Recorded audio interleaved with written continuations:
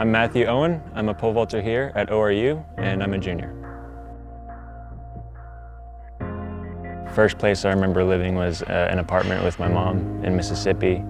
She started struggling to pay for that when she got sick, and um, so she, we moved to Texas uh, with my grandma.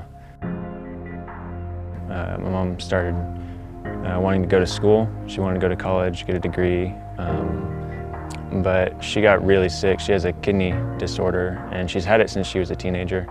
But um, it uh, kind of went away, I guess, kind of a recession, but it came back and uh, came back really bad. She got pretty sick and had trouble getting out of bed most days. Um, so she had to drop out of school and uh, just kind of get healthy again, see some doctors. Uh, but anyway, that's when we ended up coming to the colony. And um, at first we lived in an apartment again on our own and she was still working.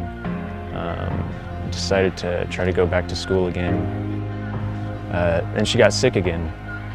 And from that point on, it's just kind of that cycle. She's uh, she's given me everything. Sacrificed a lot for me. Um, her and uh, her and my dad didn't plan on having me. She, uh, there's a lot she wanted to do, but uh, wasn't able to just because of timing and everything. You know, I was a surprise, so kind of caught up on a lot of plans, and then when he died, that made it worse. So she spent a lot of time trying to just make sure I had a good living and stuff like that. So I'm, uh, I'm really proud of her. Everything she's done for me. Sorry. His scholarship, uh, is, I mean, it's pretty much everything. No one in my family went to college or made any effort to build up any credit. I, I had no way to take out any loans. I, I could go to FAFSA and stuff like that, but it was never enough.